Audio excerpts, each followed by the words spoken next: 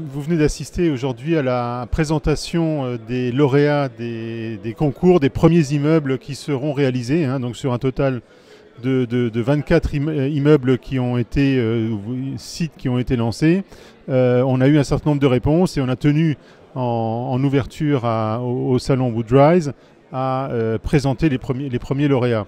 Donc il y a 13 sites sur les 24 qui se sont présentés. Et euh, on a donc euh, annoncé les résultats et on a eu en fait euh, à peu près une cinquantaine de, réponses, cinquantaine de réponses, donc avec des réponses très complètes. Hein. Ce n'est pas simplement des, des, des images d'architectes, c'était des projets qui techniquement avaient été cernés avec des bureaux d'études de différentes spécialités, des entreprises à la fois de bois et des entreprises générales, et dans certains cas l'association de, promoteurs. Donc on est, on est véritablement sur des projets qui sont dans le concret. Hein. Voilà. Donc euh, les réponses sont assez riches. Hein. Euh, les jurys ont eu du mal à, faire évidemment un choix dans, cette richesse.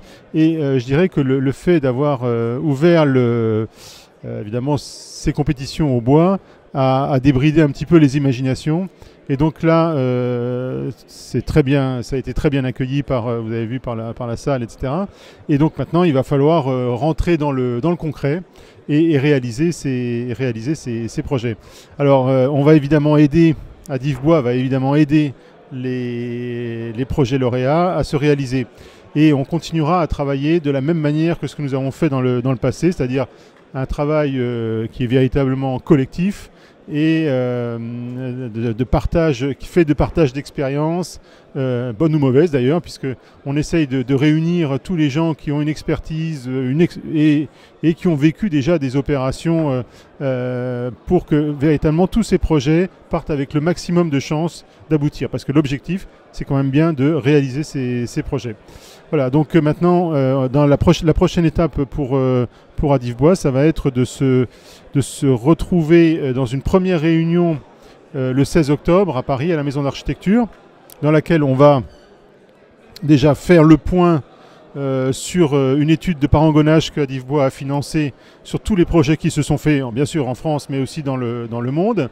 Et euh, à la suite de, ce, de, ce, de, cette présentation de parangonnage, on, réunira les différentes, différentes équipes par type d'intervenants. C'est-à-dire qu'on va essayer de réunir dans des groupes de travail les, euh, les, promoteurs, les bailleurs, les aménageurs, et dans d'autres groupes de travail, les constructeurs, et dans d'autres encore, de tous les maîtres d'œuvre, pour que véritablement chacun apprenne à se connaître.